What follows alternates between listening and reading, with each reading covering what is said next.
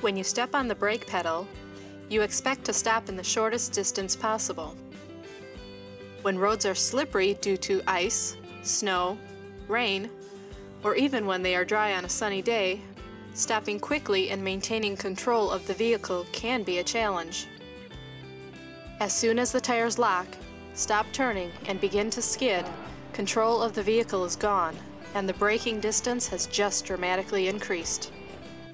If you received your driver's license before 1990, you were taught to pump the brake pedal to shorten the stopping distance and maintain control of the vehicle.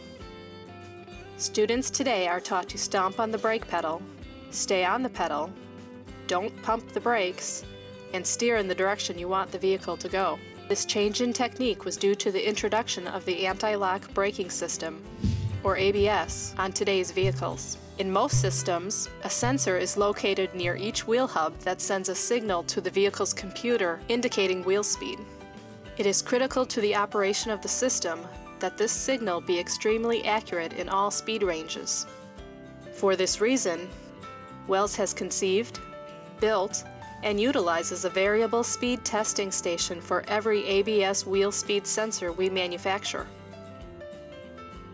To begin the testing process, the sensor is placed in a gauge carrier designed to eliminate any possibility of human error. The carrier moves the sensor near two rotating rings at precisely the same gap at which it will be on the vehicle.